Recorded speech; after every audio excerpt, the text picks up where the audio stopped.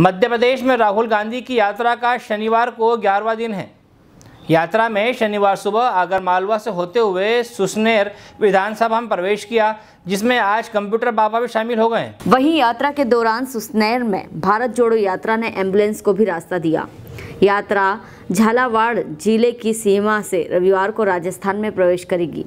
आमला चौराहे पर मंत्रोच्चार के साथ राहुल गांधी सहित सभी का स्वागत किया गया। यात्रा का राजगढ़ टीम के द्वारा रेस्टोरेंट पर स्वागत और टी ब्रेक करवाया गया। शाम चार बजे यात्रा सुसनेर त्रिमूर्ति से प्रारंभ हुई, जो लाला खेड़ी जोड़ पहुँची, जहाँ पर रात्रि विश्राम होगा।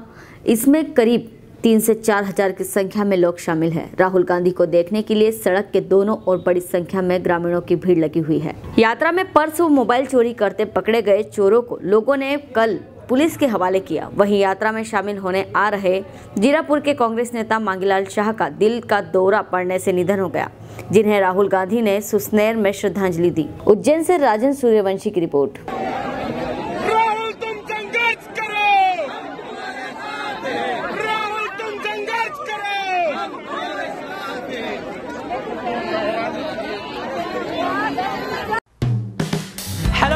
आप देख रहे हैं, हमारा channel S W twenty four news हमारे सारे वीडियो सबसे पहले देखने के लिए आप हमारे चैनल को सब्सक्राइब करें और पास में लगे बेल आइकन को दबाना बिल्कुल भी ना भूलें।